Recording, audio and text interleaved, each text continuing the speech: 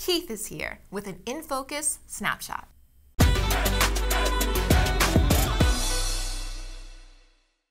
Hi, I'm Keith Hughes, and welcome to In Focus Snapshot, where we take a look at the stories from the state and our communities that you may have missed. The Baker Polito administration has awarded safety grants to five fire departments within the 12th Plymouth District, including Plymouth, Duxbury, Kingston, Plympton, and Halifax. This five year safety grant program represents a rounded approach to addressing health and safety risks, giving access to over 100 types of safety equipment.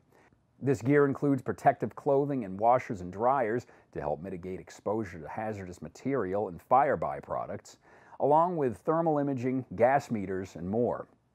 Up at the State House, Senate President Karen Spilka has proposed what she calls a moonshot to reimagine an intergenerational care system that would support workers, particularly women, who have been forced to give up careers to care for family of all ages.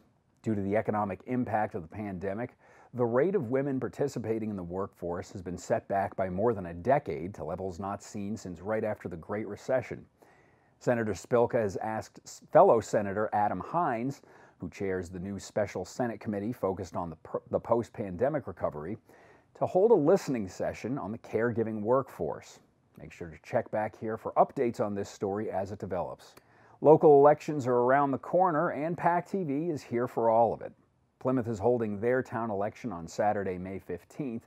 In addition to races for the Select Board, School Committee, and Town Meeting reps, residents will be voting on the creation of a charter commission, and if that passes, the nine members to make up that commission.